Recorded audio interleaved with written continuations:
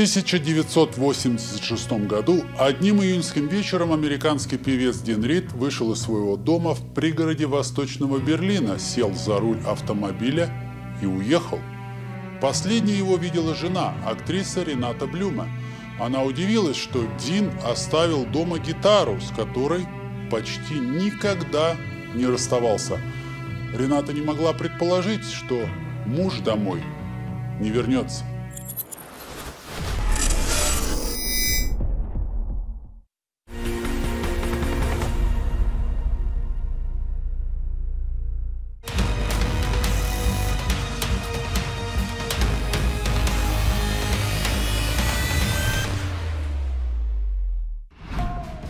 Дина Рида называли красным Элвисом Пресли.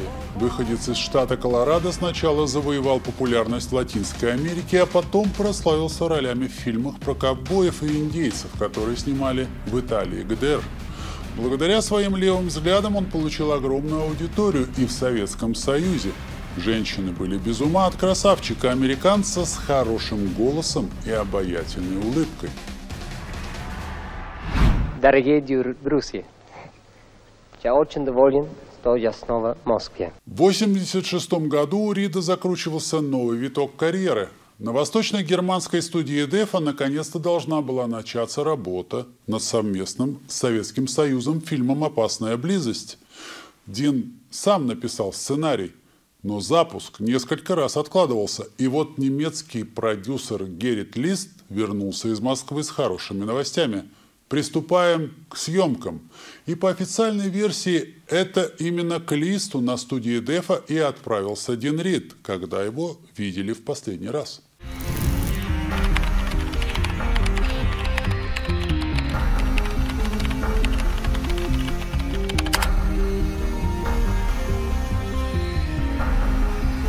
Итак, вечером Дин Рид простился с женой, но до продюсера, как выяснилось позже, не доехал – Следующим утром Гэррит Лист и Рената Блюма встретились на студии Дефа и поняли, что Дин Рид пропал. Блюма отправилась домой ждать возвращения мужа, а Лист стал обзванивать общих знакомых. Продюсер звонил в Нью-Йорк и Мехико, в Таллин и Москву. Он знал, что актер и певец был способен на импульсивные поступки. Не раз без предупреждения уезжал к друзьям в Западный Берлин или, например, в курортный городок на севере Европы. Однажды Дин Рид нашелся в Тунисе, где устроил концерт для Ясера Арафата и его соратников – Другой раз оказался в Москве. Захотел срочно записать в студии песню перед туром по Союзу. Как-то продюсер обнаружил Рида в его родном городе, Болдере. Тот выступил на акции в поддержку фермеров и попал в тюрьму. Есть легенда, что пока Дин был в тюрьме, мэру города и даже губернатору штата Колорадо настойчиво звонили из Москвы – но, так или иначе, через 12 дней певца оправдали и освободили прямо в зале суда. За этот эпизод Генрид был награжден медалью Советского комитета защиты мира и получил премию Ленинского комсомола. Дело в том, что э, такой человек, такой красавец, такой певец, композитор, обладатель такого репертуара – и вдруг предпочел наши ценности, которые тогда еще совсем не устоялись и шатались под порывом даже самого слабого ветерка. Продюсер Геррит Лист очень надеялся, что произошло недоразумение, а сам Рид хотя бы позвонит. Для американского певца фильм «Опасная близость» про восстание в индейской резервации 1973 года был очень и очень важен – Лист считал, что от такого проекта Дин не отказался бы ни за что на свете, особенно накануне запуска съемок. Есть версия, что это передозировка элементарная, как одна из версий. Есть версия, что все-таки это, на этот, э, к этому, может быть, даже подтолкнули один из, из его э, окружения, точнее, женщина, это была и вот здесь, насколько она была близка к спецслужбам или не близка, это пока остается вопросом. Но нельзя исключать, что в окружении Динарида мог быть вот такой человек. Продюсер знал, что примерно с 20 лет Дин Рид не засыпал без снотворного, и он предположил, что Дин поехал к нему уже после того, как выпил свои успокоительные и, возможно, захотел спать в дороге, съехал на обочину и отключился. Но и утром, и днем певец так и не дал о себе знать. Почему погиб Дин Рид? Машина Дина Рида четыре дня простояла на берегу Цойтинского озера, пока на нее не обратили внимание сотрудники спасательной станции. Автомобиль воткнулся бампером в дерево. Тело певца нашли в воде. По официальной версии он упал в озеро после аварии и захлебнулся. Основная версия – несчастный случай, но почти сразу появились слухи о самоубийстве или даже убийстве.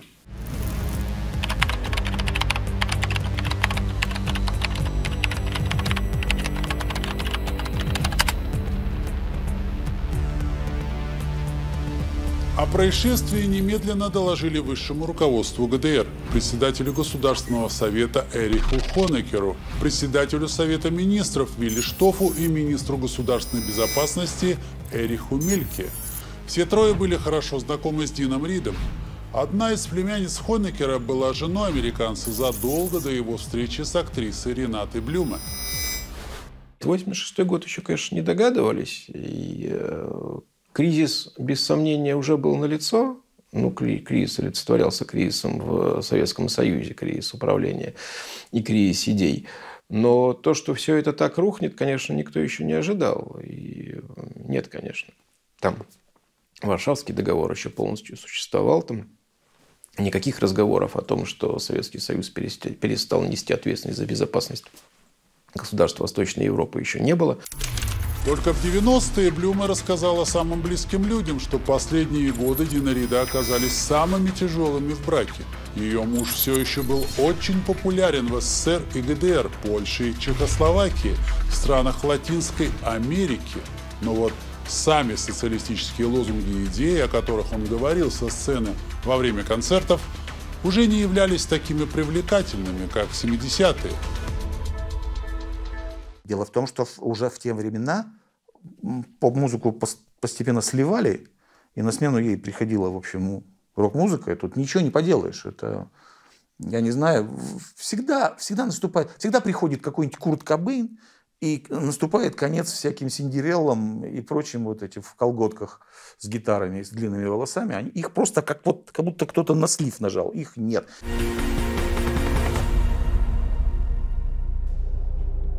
Родственники Дина Рида в США с самого начала были уверены, что его убили.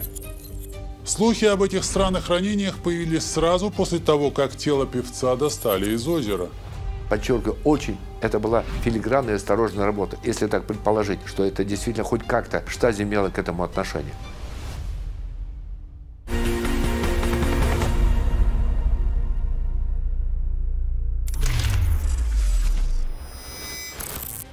В родной стране Дин Рид окончательно стал символом чуждой идеологии после большого интервью в программе «60 минут» на канале CBS. Певец с жаром доказывал, что в Советском Союзе люди живут богаче и счастливее, чем в Америке. Рид даже сказал, что мог бы вернуться на родину, если бы социалистическая партия стала достаточно сильной. После выхода интервью на Дина обрушилась волна ненависти и писем от разгневанных американцев.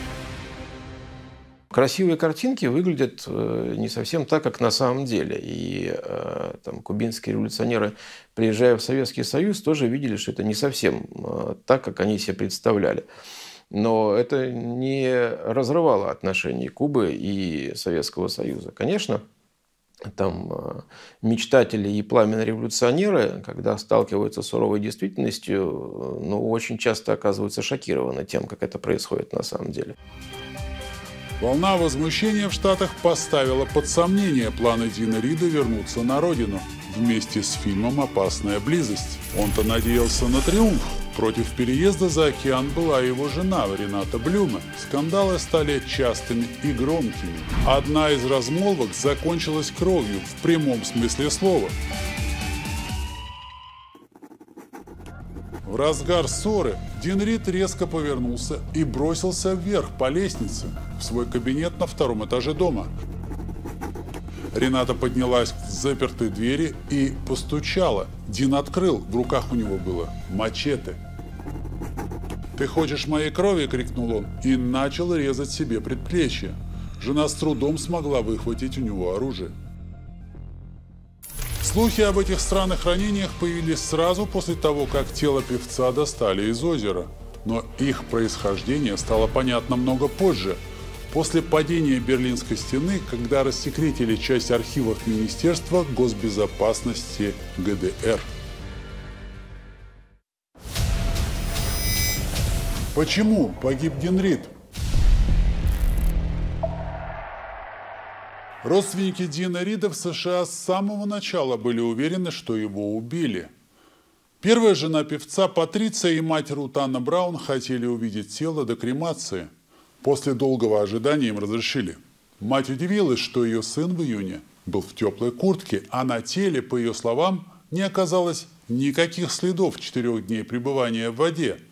Почти сразу после того, как родные простились с Дином, тело было кремировано. Но дело становилось все более запутанным.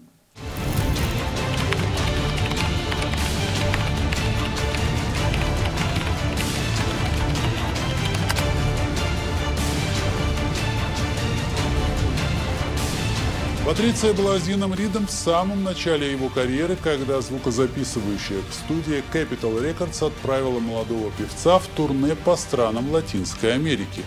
Там Дин имел оглушительный успех. Ведь он приехал с другим чувством, понимаете? Он приехал с чувством, что вот есть такие страны, есть такие государства, где личность свободного, абсолютно свободна. Ну, разве такое бывает? Свободы абсолютно не бывает. Тем более вот таких вот отдельно взятых социалистических э, маленьких государствах вот с такими режимами. А то, там был политический режим жесткий, это, это истинная правда. Дин Рид поселился в Аргентине, свел знакомство со своими кумирами, социалистом Сальвадором Альенде, певцом Виктором Харе и поэтом Пабло Нерудой. Социалистические идеи настолько вдохновили Рида, что он всерьез увлекся политикой. 1 сентября 70 -го года Дин Рид пришел к посольству США в Чили с ведром и пачкой стирального порошка. Он прилюдно выстирал американский флаг, который, по его словам, был запачкан кровью тысяч вьетнамцев. Ведь э, маршрут непростой в ГДР. Сначала из Аргентины, из Южной Америки и Чили он перебрался в Италию. И вот тот опыт, который он пытался обрести в Голливуде, снимаясь в ковбойских фильмах, ну так, где-то там на заднем плане, он, в принципе, отшлифовал в Италии, которая конец 60-х э, была меккой, так сказать, так называемых спагетти-вестернов. Но в Аргентине он тоже стал неугодным для связанных с США политиков и бизнесменов. Дом певца обстреляли из автоматов. Дин Рид с женой и дочкой перебрался в Италию, но там не прекратил своих политических акций. О певце стали много писать в газетах ГДР и Советского Союза.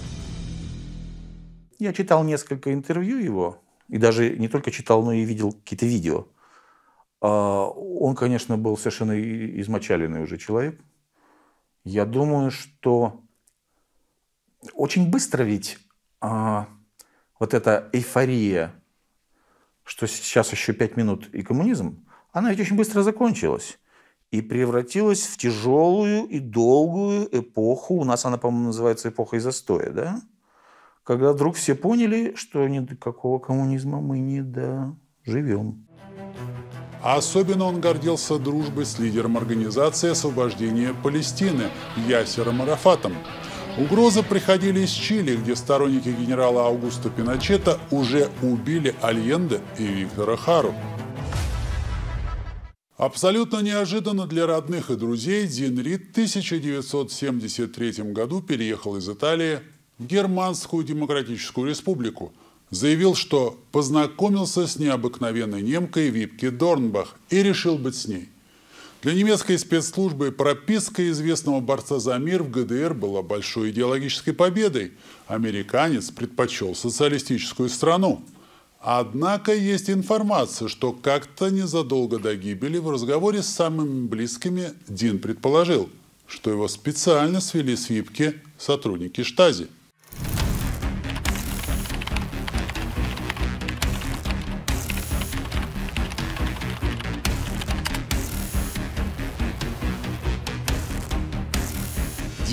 Женился на Випке Дорнбах. В браке родилась дочь, а уже в 1977 году певец подал на развод. Но остался в ГДР, продолжал работать на студии ДЕФа, стал ведущим собственной музыкальной программы на телевидении. Но никогда, я могу сказать, никогда абсолютно точно Денрида не вербовал никто, тем более штазе. Могли создать только условия для того, чтобы он сделал вот этот шаг и в конечном итоге, может быть, через агента влияния, который был близок к Денриду, а, все-таки склонили, подчеркиваю, очень, это была филигранная осторожная работа, если так предположить, что это действительно хоть как-то э, штази имела к этому отношение. Почему? Потому что он, конечно, был звездой, конечно, кумиром молодежи. И если бы он бы попал в ГДР, и как это все вот это произошло, то на самом деле, безусловно, социалистический Олимп, ну, на нем засияла вот такая звезда э, Дина Рида.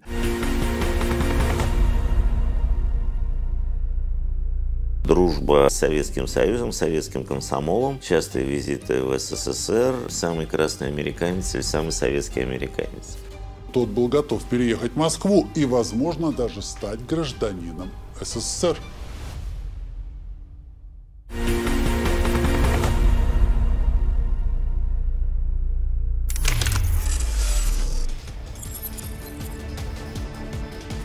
После развода с американским певцом Випке, учительница по образованию, сделала карьеру в МИДе Восточной Германии – Поговаривали, что это могло быть благодарностью за помощь Штази в переезде Рида в ГДР. И тут вдруг он приезжает сюда, ему тут все нравится. Но я вообще считаю, что я как вот артист, и я ездил, э, и я, если бы меня так принимали, как принимали тогда его, я бы на родину вообще не вернулся. Ну, собственно, он не вернулся. Американец Германской Демократической Республике своим примером доказывал преимущество социалистической системы. Со сцены и даже с экрана он продолжал призывать к миру во всем мире и к борьбе с империализмом. Играл хорошего американца, хорошего ковбоя. Э, это говорит о многом. Плюс, конечно, возможность самореализации как певца. И надо понимать, что весь мировой шоу-бизнес до сих пор строится на англоязычном репертуаре, а он, как говорится, на этом языке, что называется, пел и с ним родился. Поэтому в ГДР э, его воспринимали как такого э, нашего американца. Плюс, конечно, дружба, э, так сказать, с Советским Союзом, Советским комсомолом, частые визиты в СССР, и это, так сказать, все завязывалось вот в одну такую э, историю под названием «Самый красный американец» или «Самый советский американец». В СССР Дин Рид впервые приехал в 1965 году после Всемирного конгресса борцов за мир в Хельсинки. Уже через год вышла его первая пластинка в Советском Союзе. А в 70-е фирма «Мелодия» его новые записи издавала едва ли не каждый год. Дорогие друзья, я очень доволен, что я снова в Москве. С Советским Союзом певец Дин Рид в результате оказался связан теснее, чем можно было предположить. В 1971 году он познакомился с актрисой Эви Киви. Эстонская красавица пленила Дина Рида настолько, что тот был готов переехать в Москву и, возможно, даже стать гражданином СССР.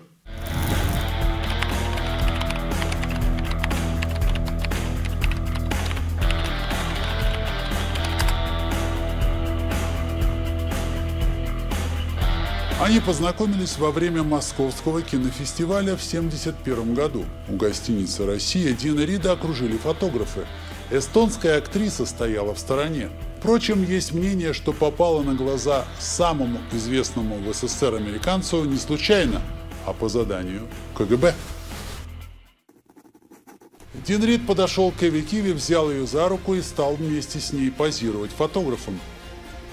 На новый 72 год Рид специально прилетел в Москву. Прямо из аэропорта на такси он помчался в гостиницу. Киви ждала его за накрытым столом.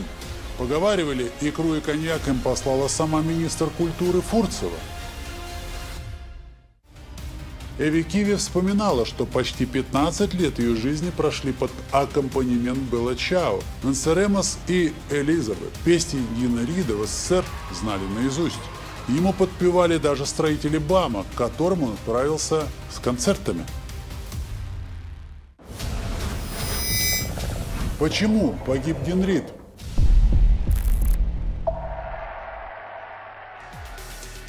Дин Рид действительно собирался попросить у лидера ГДР Эриха Хонекера разрешения перебраться на этот раз в СССР, но изменил свои планы и опять же из-за женщины. Познакомился с немецкой актрисой Ренатой Блюме. Он явился в Москву к Эви и рассказал о своей новой невесте. Возможно, на этот раз Штази переиграла КГБ. Американец предпочел Берлин и брюнетку. Сразу после завершения предварительного расследования в 1986 году причиной смерти Дина Рида признали трагический случай. Однако после объединения Германии в 90 году в архивах Штази обнаружилось его предсмертное письмо. На обороте сценария фильма. Эксперты отметили, что оно написано твердым почерком. Значит, Дин Рид был спокоен и действовал обдуманно. Так разлетелись вдребезги версии о случайности и об убийстве борца за мир, в котором подозревали Штази, ЦРУ и даже боевиков Аугуста Пиночета.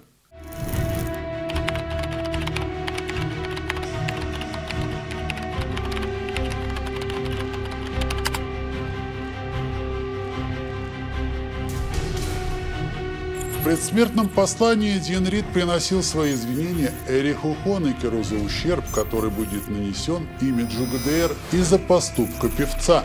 Записку засекретило следствие, якобы, чтобы не травмировать родственников. Они категорически отрицали версию о самоубийстве. Возможно, ему могли быть э, сделаны предложения, например, сделать политическое какое-то заявление, он его не сделал. Может быть, он должен был э, выступить на каком-то форуме, он э, не выступил. То есть я думаю, что вот такие личности, которые отказываются по каким-то мотивам участвовать, не напрямую быть завербованными, то есть не отказываются от сотрудничества, а просто участвовать в каких-то политических больших шоу, выгодных той или иной стране, они приводят к тому, что в конечном итоге срабатывает и курок спецслужбы. Последний, кто пытался пролить свет на причины смерти Дина Рида, была его дочь от первого брака, Рамона. Она даже подала в суд на власти ГДР за фальсификацию данных о гибели отца. Но после объединения Германии дело исчезло.